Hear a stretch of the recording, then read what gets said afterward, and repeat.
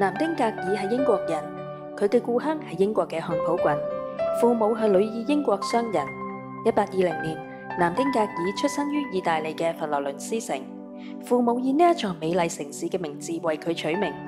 南丁格尔嘅父親係一個博學而有教養嘅人，屋企有好多書。南丁格尔從小博覽群書，佢通曉歷史、醫學、哲學，擅長音樂同繪畫，精通英法德意四國語言。南丁格爾從小就心地好善良噶啦，鄰居間有好多屋企條件唔好嘅孩子，佢經常將自己中意嘅玩具同埋中意食嘅嘢送俾佢哋。見到大街上面有小動物受傷，佢總係抱返屋企細心照料。父親有一個精通醫道嘅牧師朋友，村民们都好中意揾佢醫病。南丁格爾亦都好中意向佢請教醫術。牧師同南丁格爾都好中意騎馬，佢哋經常一齊出游。喺路途中，牧師經常救咗一啲病殘嘅穷人，南丁格爾就喺旁邊做一啲護理工作。見到好多人喺自己嘅料理下病情有所好轉，南丁格爾十分之高興。時間耐咗，南丁格爾就對護理產生咗濃烈嘅興趣。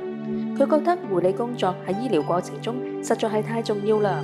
但係當時護理工作喺人們眼裏面係好卑賤嘅工作，做護士嘅都係一啲普通嘅女佣，甚至仲有一啲係刑滿釋放嘅女囚。做護理工作嘅人一般都冇咩知識嘅。南丁格爾覺得應該建立一支有質素嘅護理隊伍，而且下決心學習專業嘅護理知識。南丁格爾二十一歲嘅時候，父親想讓佢入大學讀書，但係南丁格爾只係想學習護理。父親見到女兒咁堅定，就冇再強迫佢去上大學啦。一八五零年，三十歲嘅南丁格爾通過父親嘅關係去咗德國學護理。三年之後，佢又去咗法國巴黎學習咗半年護理組織工作。一八五三年，南丁格爾返咗英國，佢喺倫敦嘅一間醫院擔任護理主任。同年八月，喺英國慈善委員會嘅資助下，南丁格爾喺倫敦辦起咗一所看護所。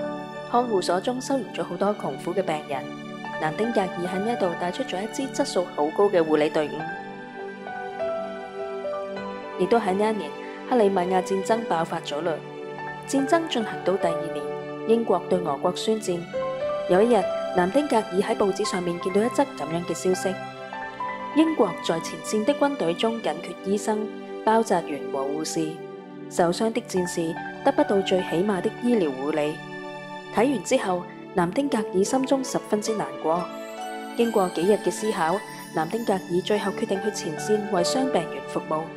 佢將呢一個想法話咗俾母親知，母親同埋兄弟們一致反對佢咁做，因為喺十九世紀中期嘅英國，婦女擔任公職拋頭露面都會遭到人們嘅嘲笑，而且前線炮火連天，亦都十分之危險。但係南丁格爾心意已決，佢好快就向政府做咗申請。一八五四年十月二十一日，南丁格爾經政府批准，帶領佢培訓過嘅三十八名護理人員離開咗倫敦，前往克里米亞前線承擔護理嘅工作。喺克里米亞前線，南丁格爾同佢嘅護理隊為傷員付出咗好多心血。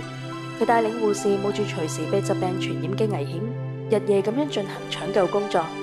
除咗為傷員進行醫療護理之外，佢哋仲為傷病員倒屎端尿、洗衣服、烹調食物。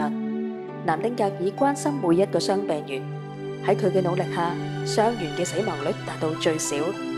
南丁格爾仲深深咁理解病人嘅心理，為咗可以讓嗰啲精神空虛嘅病員安定情緒，佢仲自己出錢喺前線醫院附近建立咗閱覽室、咖啡館。佢成為咗病人嘅知心人，好多傷病員喺晒俾屋企嘅信中，都一直稱讚南丁格爾呢一個熱情善良嘅護理專家。好快，南丁格爾嘅故事被傳開啦，英國人民都想親眼見一下呢位善良嘅南丁格爾小姐。一八五六年，克里米亞戰爭結束咗啦。十一月，南丁格爾作為最後嘅撤離人員離開克里米亞，返回英國。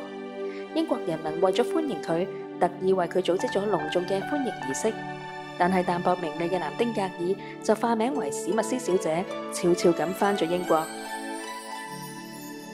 一八六零年，南丁格尔用公眾捐助嘅南丁格尔基金喺倫敦正式創辦咗南丁格尔護士學校。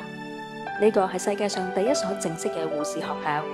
之後，世界各地嘅護理學校亦都紛紛創辦起嚟，護理學亦都真正作為一門學科受到人們嘅關注。南丁格尔一生為護理事業做出咗重大嘅貢獻，著有護理筆記、醫院記錄等。為咗護理事業，佢獻出咗毕生嘅精力，终身未嫁。后来为咗纪念呢一位伟大嘅女性，人们将南丁格尔嘅生日五月十二号定为国际护士节。